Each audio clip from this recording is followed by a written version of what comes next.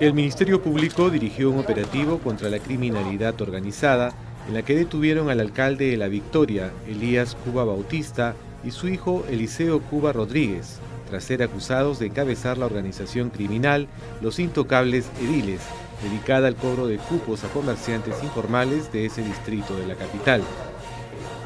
Tenemos a 23 personas que han sido detenidas y se han allanado en total 51 inmuebles dentro de varios distritos, ¿no? De La Victoria, San Luis, Puente Piedra, Charlacayo, Cieneguilla, etc. Las personas que están siendo investigadas en su gran mayoría son funcionarios o servidores de la Municipalidad Distrital de La Victoria y algunos son particulares, ¿no? Personas que han eh, colaborado con la recaudación irregular, indebida o por la explotación de los espacios públicos de la municipalidad o del distrito de La Victoria. En esta acción conjunta participaron 60 fiscales y más de mil efectivos policiales.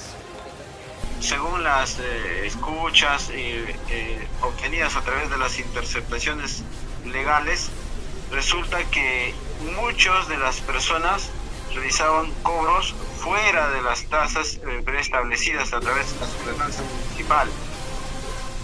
Estas eran de, de 3, 5, 6, 9 soles. Y en otros casos, por ejemplo, en zonas como el mercado de frutas, cada camión eh, eh pagaba ¿no? entre 100, 200, 300 hasta 500 nuevos soles.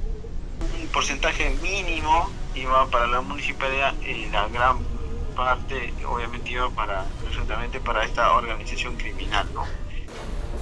Además, se llenó las oficinas de la Subgerencia de Comercio Informal y Mercados y de la Subgerencia de Obras Públicas, Tránsito y Transporte, así como de la Oficina de Fiscalización, Subgerencia de Tesorería, Gerencia Municipal y de la Gerencia de Desarrollo Económico.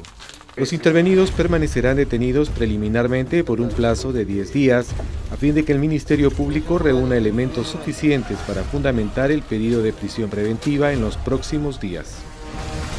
¿La orden contra él?